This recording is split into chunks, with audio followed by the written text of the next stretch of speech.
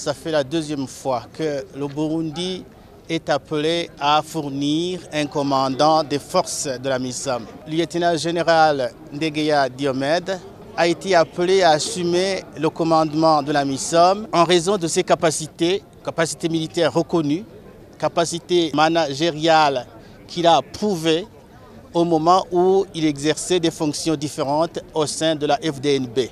Aujourd'hui donc, il a été sélectionné pour montrer au monde que les militaires burundais ont accompli leur devoir dans la mission, que les militaires burundais ont apporté leur contribution dans les efforts qui sont fournis par les différents contingents au niveau de la mission pour ramener la paix en Somalie.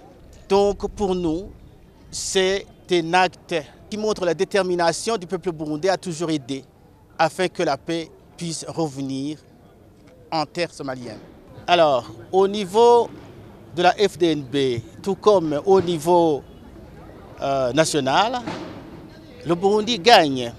Gagne pourquoi? Parce que c'est un signe qui montre que euh, la communauté internationale apprécie les efforts qui ont été fournis, qui ont été consentis par nos hommes qui sont déployés en Somalie pour ramener la paix en Somalie.